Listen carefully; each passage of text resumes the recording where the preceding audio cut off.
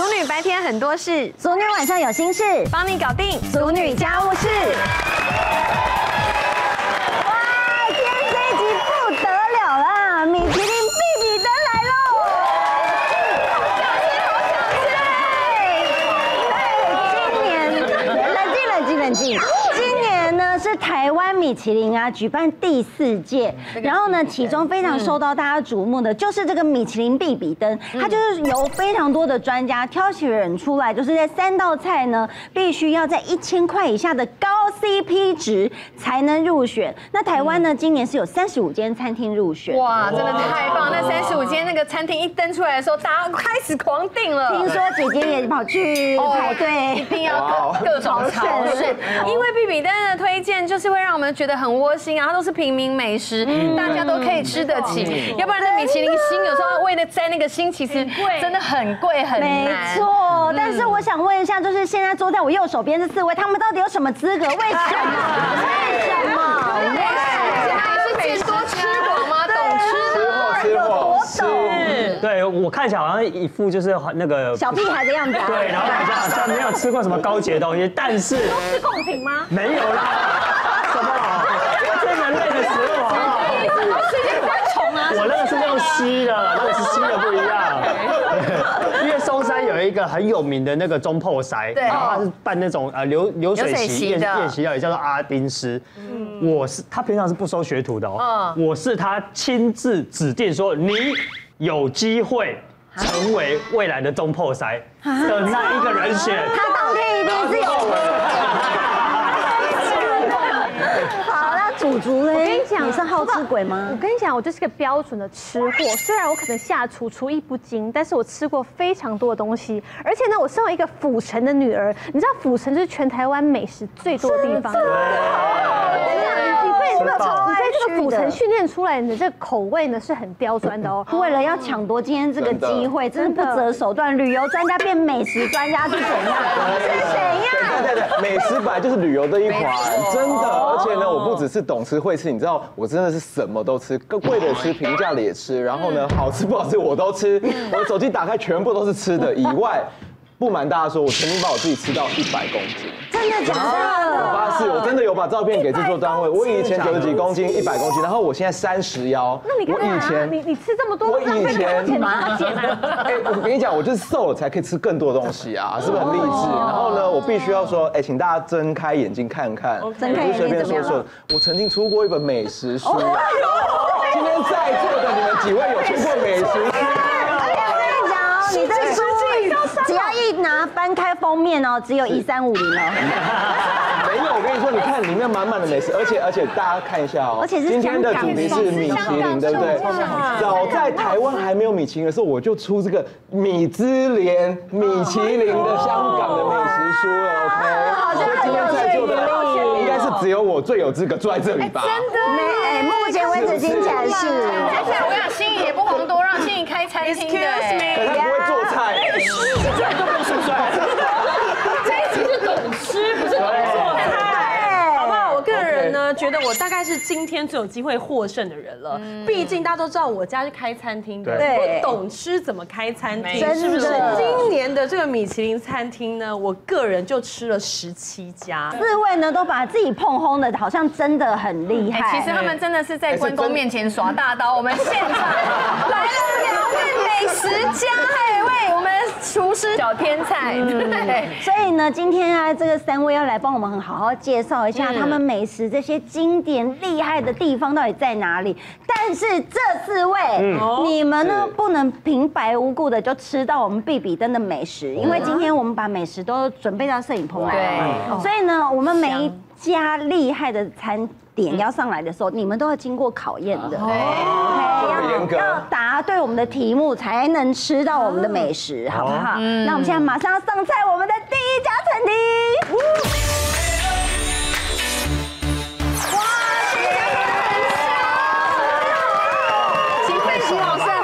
介绍一下这家牛肉面，真的太好吃我跟你。讲，今天真的是绝了，哦，今天真的是绝味难寻呐。哇！然后这家呢特别有三绝，它的肉呢食材都是最新鲜、最原味。哦。然后二绝呢，就它的爱心、它的它的用心跟它的认真，嗯，然后还有它本身的专心做出的这个这个料理。嗯。那三绝就是它做菜很简单，它里面呢有牛尾，它的牛肉呢？好像好像蹄膀哦，对对对。然后呢，它的牛肉是牛排等级的，对对，牛筋也是几乎就是牛白条，一头牛只有两个牛白条，它就至少给你四分之一了。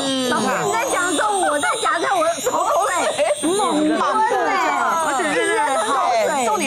点是热的，是香对，没错。然后它的番茄很特别，它用了四种番茄，黄金番茄，还有牛番茄，还有我们台湾本地产的欧吉亚，很特别哦。叫欧吉亚。欧吉亚就是土番茄，哦，对。这样子的话，就是番茄其实它酸度、甜度各对，它有一个层次然后再来的话是它用了两种的洋葱，它不是用车层，它用进口的黄金洋葱，还有紫洋葱，他还用一些对特别的秘密武器去熬制出来，包括它炼出来的那个牛油牛油。一起，让你一碗面可以吃各种不同的风味。很有层次。对，没错。你真的哦，哎呦，然后我们现在会流口水站在旁边都觉得很痛苦。那这还不打紧，它还有推出季节性的这个红糟鸡腿面线。所以如果不吃牛的话，就可以选这个。因为它本身是一个老福州人，它的这个面线里面的汤头呢，除了红糟的甜以外，它还加了一个秘密武器，就是绍兴酒。所以你红糟的甜，好，因为红糟是有点发酵，然后加上绍兴酒又是黄酒的一种发酵，所以你吃起来会觉得整个身体都暖和起来了。真的好香，我要给他们先品先尝一下。你要这样子勾引他们。超香的。超香，这太残忍了啦！真的，冬天吃最好。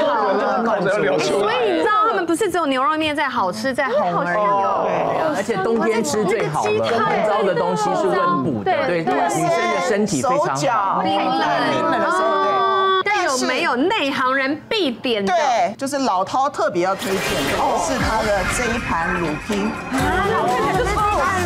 你知道他的乳拼的那个，光是它的这个花剑啊，你知道他挑什么部位吗？嗯，他挑的是那个。牛的后腿哦，我们讲该逼，肥多筋多，然后肉很嫩，因为基本上它是带一点冻，又不是很冻。对，因为该冰那里比较少冻到。花剑，对，最嫩的地方，那里最嫩的。块卤制之后呢，我跟你讲都端端的。我跟你讲，它里面还有一个非常秘密的武器。对，台湾最贵的酒是什么酒？知道吗？最贵的金门高粱，有金门高粱。我跟你讲，光是这一味，我跟你讲，他把所有的中药味十几种，什么丁香啊，什么草果啊，我跟你讲，完全融合在一起。这一个，我跟你讲，你就完全。光这个你就可以八饭八好几碗，我跟你讲，我太有味了。刚刚那块该逼啊！它吃起来呢，它的味道真的很像有在吃牛肉干的味道，但是它的口感，因为我们吃牛肉干口感比较扎实嘛，它的那个口感却是软嫩带 Q，它的筋不是烂的，是 Q 的，所以那口感层次很丰富。我们现在呢要来考考你们喽。以下哪种水果沾酱油是福州人的特别吃法？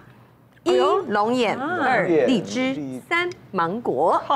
这个水果沾酱对油，开什么玩笑福州人，老板是福州人。好巧不巧，我阿公就是福州人。哎呦哎呦，我的老家前面就种了一个龙眼树不。要改，不能改。等一下你不能改，哎，我们要先不能改？对，要先举牌。对，你干嘛七早八早急着讲啊？啊，对，所以我的答案是龙龙眼。眼。好，所以你，阿公来台湾的时候有新盘沙鸡多吗？有有有有有，一定要的。其实呃，福州菜里面有一道菜叫荔枝鱼，连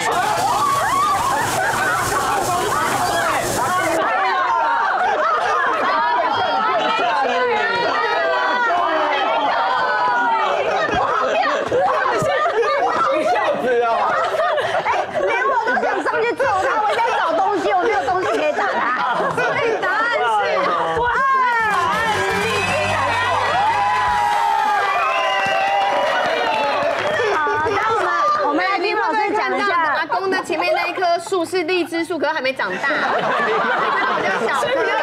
海边小的时候不懂送，比较励志的。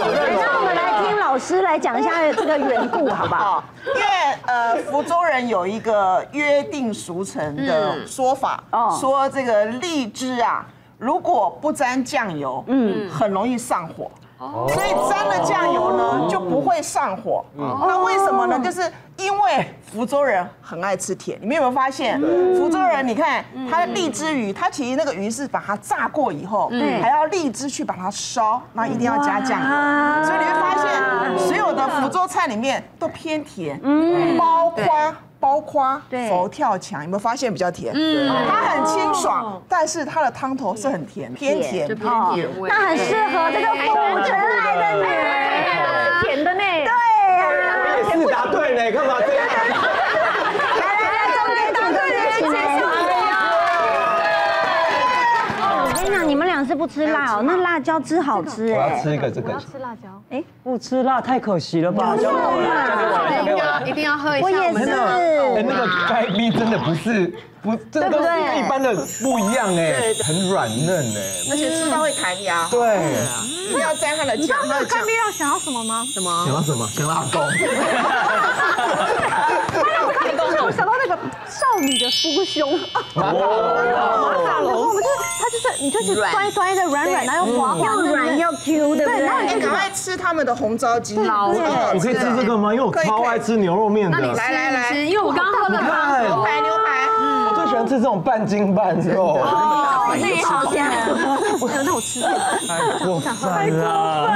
你看我刚刚一咬它都化开。哦。你那个这个真的好好吃，你看这是哎，这个嫩的。牛肉的口感，你看，我没有吃过这么就是入口即化的牛筋腩对，很。好吃。来，祖祖，你讲一下，你喝的是这个吗？他喝的是红糟鸡，好好喝哦，我刚刚也偷喝了一你会有口点。甜甜的在里面，那个有绍有烧兴酒，对绍兴酒的香味，然后是那个香味那个香那个发酵出来那个甜甜的，然后后面后味就会有一个清香的那个等会会有点微香上来。醺哦，讲话会有点轻飘飘的哦。真的会。但是它不会让你一喝下去，有些是很刺最，重要的是它不会，它很会红润。对它很温顺的感觉。刚刚静静姐讲那个番茄，我觉得是在汤。对我刚喝了一口，那个完全不一样的感觉对。汤头真的是很有层次。继续你看！心仪的脸，你你我已经没有灵魂了，你就是我已经没有灵魂。我们灵魂被抽干我跟你。讲，他们的灵魂是哎，毕竟啊，带走了。好了，我们放过机会，你好好加油，好不这好？间店我一定要去他现哎，场吃。真的太好吃了，谢谢飞行老师，谢谢老师这一家呢是台菜呃非常有名的一家老店，然后它为年轻人开了一个特别的年轻年轻人聚餐的品牌，然后那它的菜色呢也都是呃老菜，然后做了一些传统手法上的改变。一般传统猪脚可能是用一个单一的部位，那这一个猪脚比较不一样的地方，它是用了同时用了前腿跟后腿，然后让它的味道是比较呃均多元化，然后那呃分别料理之后呢，把它兑到一起，然后再把它融合起来，做成一个特别的，用三杯的酱汁，然后把它做成一个新的组合。老师，我对这道菜很有兴趣哎。对，皮蛋呐、然后跟那个糯米辣椒啊，然后一起来做的一个菜。汤其实是一个呃传统台南的东西，然后它是用虱目鱼，台南的虱目鱼，对，然后来做出来的一个，台南的甜汤的虱目，对呀、那个汤头超赞的哦，而且加了白味增，对，然后蛤蜊这样汤头里面很鲜，又鲜又甜。真的会感觉超厉害的。然后还有这个，它是呃一个传统菜，原本是那种挂菜，然后来来做。那像现在年轻人他就把丝呃挂菜改成丝瓜，然后那里面还弄了一个蛋，用铁板煎了一个蛋在底下，对对对，在在底下。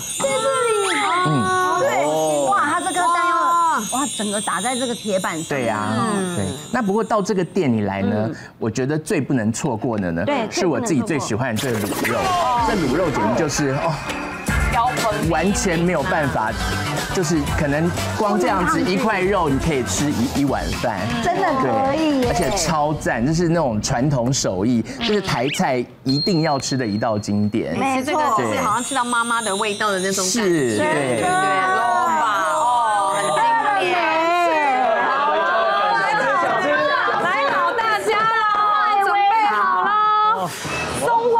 是养鸭人家不小心发现的。当时他拿皮蛋做了什么事？第一个换餐，第二个进贡，第三个救人。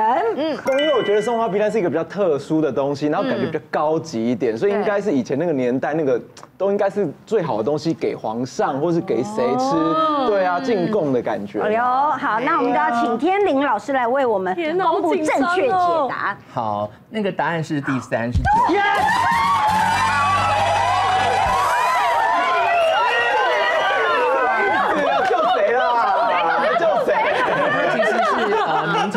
的时候，那个湖州有一个知府，然后那个知府他很爱民，所以他就是呃开仓开粮仓，然后赈灾。那因为开粮仓赈灾的时候，就影响了米米米商的生计，然后那米商就暗中去诬诬赖这个知府说他贪污，然后他就被关到监狱，就是被调查这样子。然后在这个过程中，就是监狱他还买通了那个监狱的狱卒，就不让他吃饭，就把要给这个知府吃的东西，然后就是给他吃掉，然后就变成。说他快饿死在这监狱里面，那这时候有一个卖鸭蛋的商人，那知道这个知府是一个好好官，所以他就把他们家的这个皮蛋送进去给狱卒，让他拿给这个呃这个知府吃。可是因为狱主觉得好臭哦，然后就觉得好吧，那就给你吃。可是他不知道这个松花皮蛋其实闻起来臭，可是吃起来的时候是很香的。对。对，然后所以就是因为这样子就救了这个知府的命。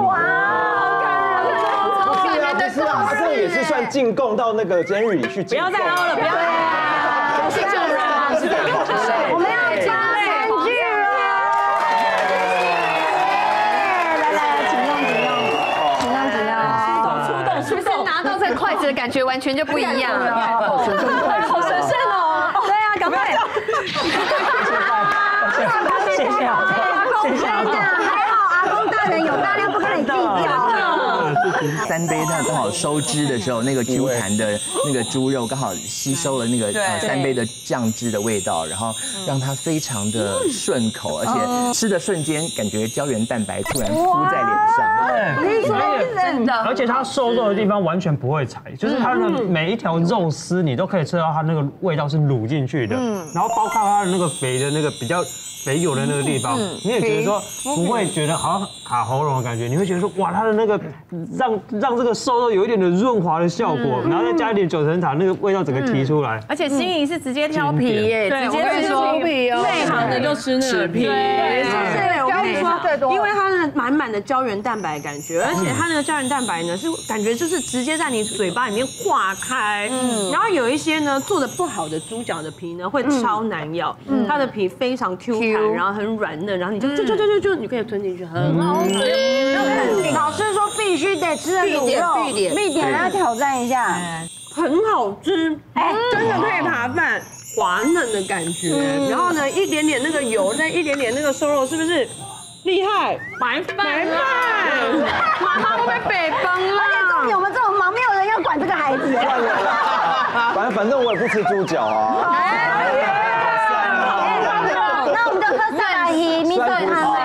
只好喝萨巴鱼暖暖胃喽。只好喝那个艾瑞克最想吃的萨巴鱼喽。今天不会的。真的，台南人最喜欢吃石目鱼了。这个汤头你会喝到那个所有海鲜的精华，你感觉好像那个海鲜是像滴咖啡一样，一滴一滴把那个最最鲜的那个味道就滴进这个汤里面。嗯，但是我觉得那个味真的味道提起来，反而让这个鱼更鲜甜。对。欢迎大家来订阅我们的 YouTube 频道，解决你所有的家务事，跟上潮流社会事，满足你想知道的八卦事，还有时尚这档事。赶快按下订阅频道，加上小铃铛，俗女家务事，赶快来订阅。